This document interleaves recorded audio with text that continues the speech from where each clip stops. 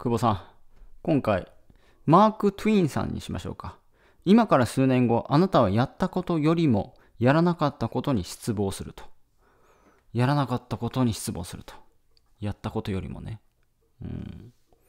まあ、ほとんどの人がや、やる前に、なんかその、本当に稼げるのかみたいなね。あのあなんかあだこだ言うんですけども、うん、やらなかった方が失望するよっていう まあ大体やんないですよね。その、あの、スーパーの女のその上司の名言ですよね。あ、見てないんだね。見てないってことはもうずっと見ないね、みたいな。まあ別にマルサの女を見なかったから失望するってことはなかっただろうけれども。まあ上司の格言ですね。あ、見てないんだ。見てないってことは一生見ないね、みたいな。確かに。確かに。そう。大体ね、流れるんで、今やれないことって今やれないんですよ。で、ずっと今やれないんですよ。だずっと今の連続で、今の連続だから今やれないことは今の連続が今やれないのでずっとやれないってことですよね そう。いつかやろうっていうのはいつ、いつにもならないってことですね。うん。だからいつかやろうじゃなくて、いつやるかを決めるってことですね。いつかやろうではなくて、いつ、いつやるのかっていうのを決めなければ、まず始まんないですよね。まあもちろん決めても破る人もいるので、まあ決めたからできるのかっていうと、まあできない人もいますけども、でもそれはまあ自分を裏切ってるんで、まあそれが裏切ってる人生ですからね、自分に嘘をつく人生なんで、それはそれでその人の人生ですからしょうがないんですけども、でも決めたら、決めたことをただ守るっていうことをただやる。別にすごいシンプル。シンプルイズベストですよね。決めて守る。終了ですよね。うん。多分ですよ。まあ世の中でルール決められたことがあるから世の中の統制があなってると思うんですよ。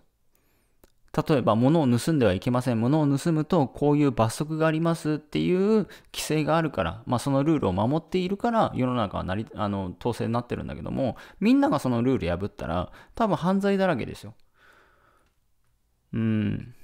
まあ実際にその、なんすかね、あの、一回テレビでもちょっと流れましたけども、その、まあ、ロシアとウクライナの戦争の中で、あの、なんだ、えー、っと、なんだ、あ食料とかね、物がなくなって、そのスーパーにね、ガンガン入ってね、なんか盗んでくみたいなね。だからもう統制が整ってないと、もうそうなっちゃうんですよね。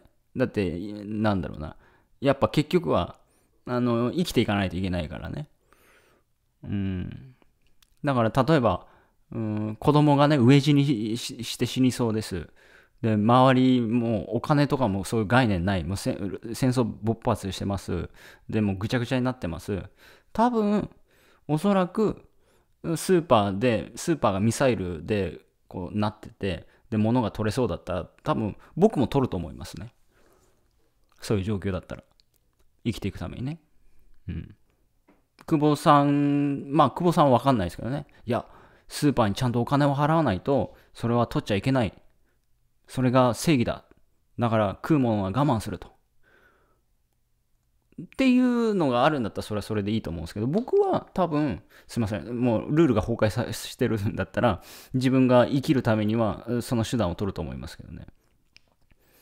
でもまあ別にね、日本はそういう状況じゃないので、あれですけども、うん。ただその昔沖縄だったかな、なんか、その、多分これ歴史上でもあると思うんですけど、人を食うっていうね。うん。その、なんだろう、倫理的、なんだ、人間的にどうなのかっていう話でもあるんだけども、生きていくためには何か食わないといけないですよね。うん。だ人まで食っても生きている価値はないと思うんだったら、あの、上に、上に死んでいくっていう。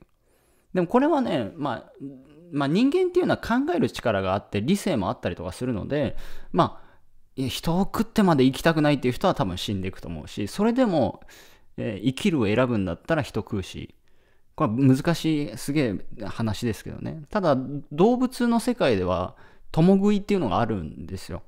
まあ、昆虫とかでもあるだろうし、共食いみたいなのあるので、うん、なこれはまあ非常に難しい議論になりますけども、ただまあ言いたいことは、まあ、ルールを守ってますよねって話です。多くの人がね。そう。でも、ルール、その、国が決めたルールだったりとか、社会が決めたルールは守ってるのにもかかわらず、自分が決めたことは守んないんですかっていう話で、その決めたことを破るんだったらね。うん。でも多くの人は決めても破ったりしてるんで、結構。やります頑張ります僕はあの、やるやる詐欺に相当会ってきましたんで、もうな慣れましたけど、やります吉田さん頑張りますみたいなね。で、やめてくっていうね。どんだけやるやる詐欺の被害者だよっていう、相当被害を受けて、まあ被害というのがちょっとあれですけど、まあそういうのを見てきたんで、まあ多くの人がやります、頑張りますっつってもやらないですよね。うん。まあやらなかったことに失望すると思いますんで、やった方がいいと思いますけど、いってらっしゃい。